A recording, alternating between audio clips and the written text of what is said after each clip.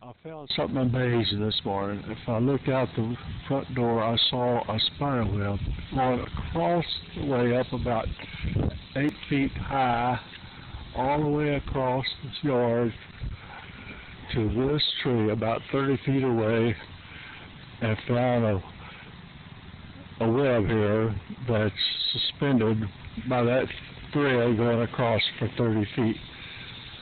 And I just wonder how did the spider make that span?